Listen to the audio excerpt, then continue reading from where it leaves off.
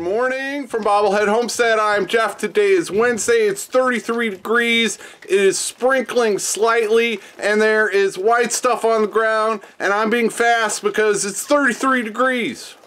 Yeah, I've got white stuff on the truck and on the on the ground, but it's not snow. Yeah, it's kind of hard to tell, but there are four baby chicks in there. So they have done, um, this batch has, they're done hatching and I've got four and I, I raised the, uh, the heat lamp so that I could film them and now I will lower it back down so they are a little bit more comfortable. But they all seem to be happy, healthy, and doing well. Yesterday, those four baby chicks came out of this incubator. Oh, look at that. There are eggs in there now. So, yeah, what I did was I took the four baby chicks that were done hatching out of the incubator on the left.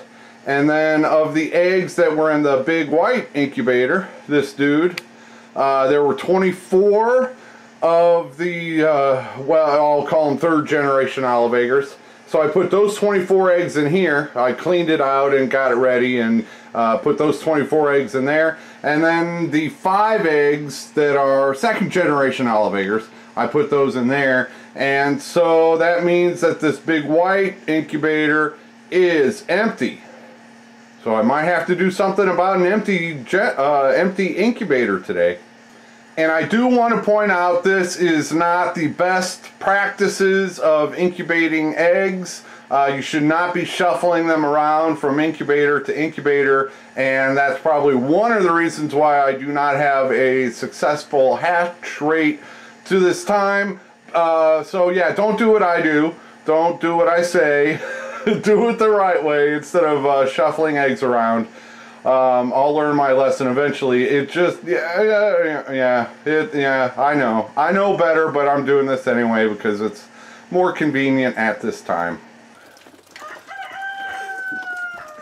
I have seen a few snowflakes here and there, but it's just right on the cusp of freezing weather, so it doesn't know if it wants to snow or rain. It's mostly just wet stuff, rain, no snow. I think I'd rather have snow than this wet stuff, but eh, whatever. And uh, we're supposed to get more snow or and or rain uh, today, more rain tomorrow. It'll be up into the 40s tomorrow, so all of this will probably be gone.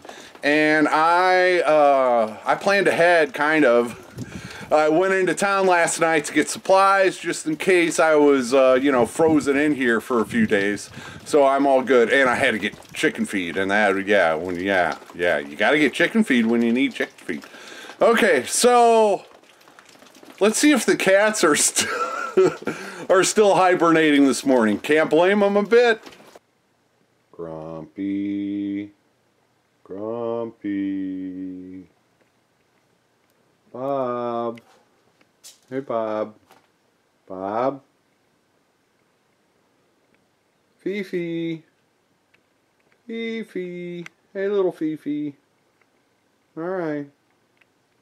At some point tonight, I will be putting these lighter green eggs in the incubator. Uh, there are 38 of them. If we get another egg or two this afternoon, I'll throw those in there too.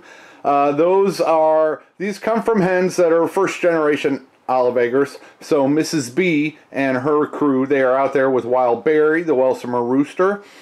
Uh, I am breeding these to hopefully get more of these, uh, the darker olive or the speckled. Yeah. Or the speckled. So these eggs are the ones that I am trying to go for. Um, I didn't have a great success on the hatch rate of the of the other batch that I did of these, so I'm giving it, uh, it another try. The one thing is, there's only a 50% chance they'll the offspring will lay a green egg. There's also a 50% chance they will lay a brown egg. So yeah, there's that.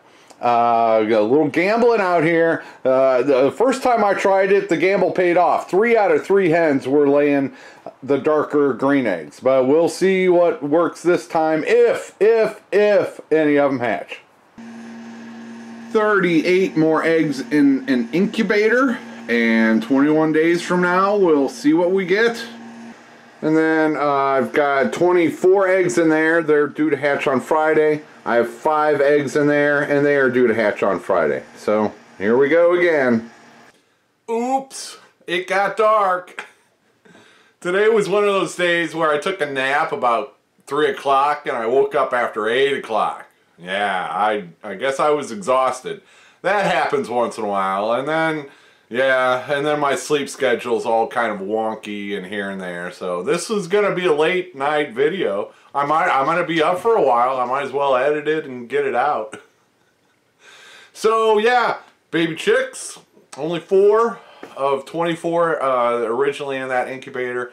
That is not a good hatch rate for me. And I'm learning. Come on up, Bob.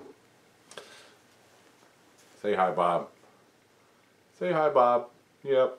Um, there are a lot of different factors. Some of that might have been Wild Berry was not getting around to all of the hens. And so that, you know, I went from 24 to 10. But then why did only four of the 10 hatch?